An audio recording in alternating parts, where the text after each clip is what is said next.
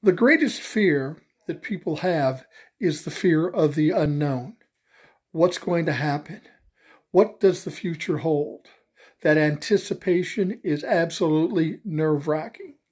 And right now, today, as we're about ready to start a new year, people are losing their shit. They're scared to death. I get people coming to my post all the time, anxious, upset, worried about what is to come. And I'll tell you this cool the fuck out.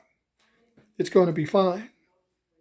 If I took you back to 2019 and I told you that we'd be where we are today, you would have said I was crazy, and the Trumplefucks would say, no, never happened, civil war and all that shit. But still, this is where we're at.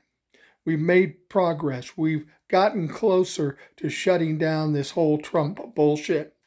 And what's going to happen in 2024? Well, if you walk into 2024 with a negative attitude, you deserve what you get. You need to have a positive attitude. Things are going the proper way.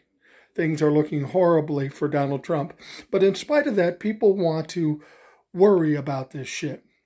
Let me explain something to you. All you can do is put in the work to the best of your ability, have a positive attitude, and not worry about shit you can't control. There's no reason you have to spend hours and days and weeks agonizing over something you can't control.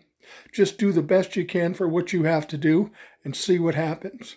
And I guarantee you, it's going to be far better than whatever you're fucking worrying about right now.